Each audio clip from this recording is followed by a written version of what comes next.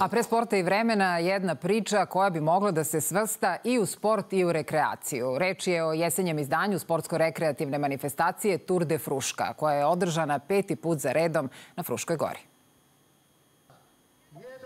Osmesi i odlična atmosfera na startu Tour de Fruške.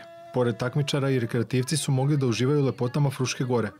Prvog dana na programu je bila trail trka, a takmičari su mogli da se oprobaju na stazama od 7 i 15 kilometara organizacija, sjajna, sjajna manifestacija, ovaj, dosta dobro druženje, dosta dobra energija, ekipa, tako da sve pohvale.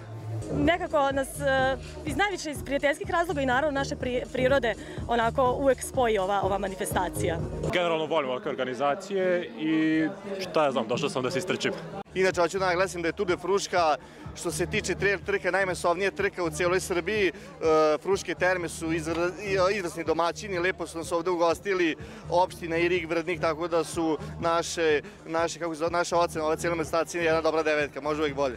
Pored domaćih takmičara, veliko interesovanje za ovu trku bilo je kod gostiju iz regiona, što pokazuje da Tour de Fruška doprinosi popularnosti sportskog života na Fruškoj gori. Danas sam zaista presrećan što sam ovde, nekako se smatram i začetnikom i ovog projekta i ove ideje i kao predstavnik Ministarstva sporta zaista sam ponosan kada vidim da moji sugrađani i moji, da kažem, zemljaci ovde uh, imaju, imaju tu želju, imaju tu svest da rade na, na, svoj, na, na svome telu, na svome, na svome zdravlju. Divno vreme, divni ljudi, divna planina i divna manifestacija. Dakle, od samog početka postojanja Tour de Fruške glavni pokrovitelj jeste pokrajinska vlada i ovo jeste apsolutno manifestacija koja promoviše ono što jeste Vojvodina, ono što jeste Srbija. Tour de Fruška koja je namenjena svim ljubiteljima prirode, zdravog života kao i sporta uopšte, ponovo je opravdala epitet manifestacije kojoj se svi učesnici rado vraćaju.